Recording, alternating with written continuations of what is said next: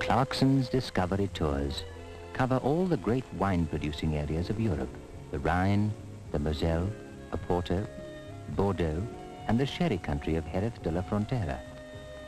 This film is about one particular tour to discover the wines of Burgundy, to see where they're grown, to learn how they're made, to sample them and learn more about the flavor and character of each. To see some of the architecture and learn some of the history of the area too, because wine colors every aspect of life in Burgundy, as it has done for centuries.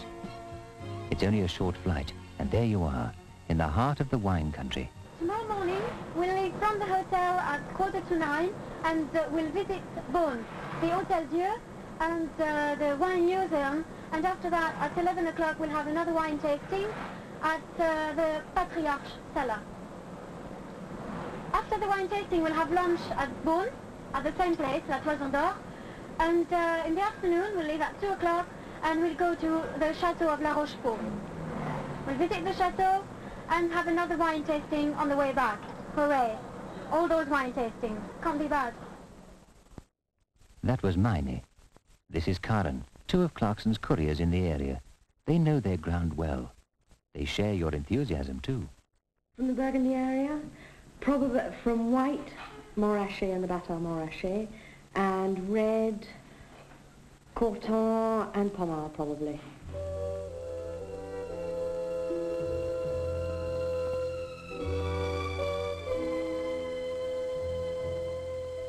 The Tour Hotel is near the centre of Beaune. With cellars full of millions of bottles on every street, this town is literally built on a foundation of wine.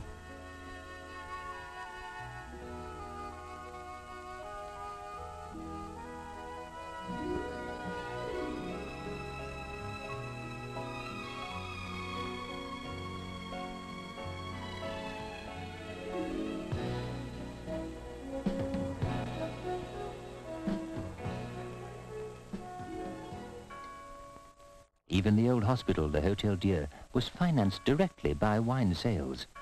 Benefactors donated parcels of their vineyards, and in this area, that's a priceless gift.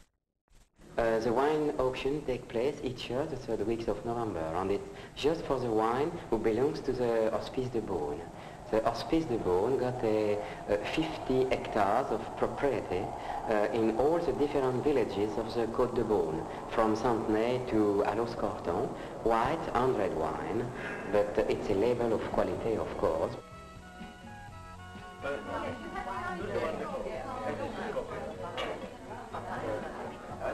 Then, of course, there's the marriage of wine to food.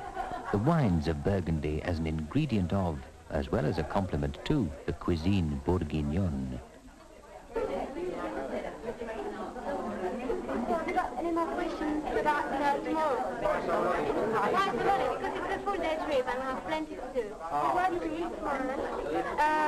We go tomorrow, we leave at 8, we go we visit Cluny, we have a wine tasting on the way there, and we have lunch at Beaujeu, in the Beaujolais. No, no. So we have lunch at Beaujeu and um, you have dinner wherever you like. And on the way back I'll give you a few information about the restaurants and specialities of Burgundy and Okay?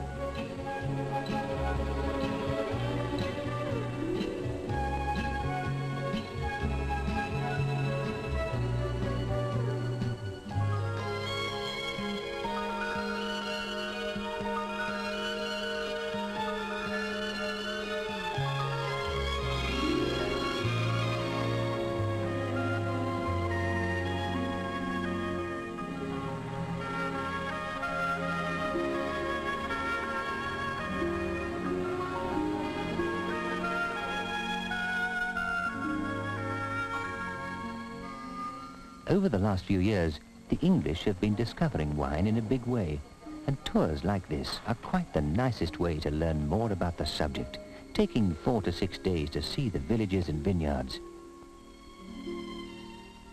to taste the wines, and especially with an expert to tell you what to look for at the connoisseur's wine tasting. Le deuxième sens, c'est l'odorat. The second sense is the smell, qui nous permet de découvrir les différents parfums d'un vin.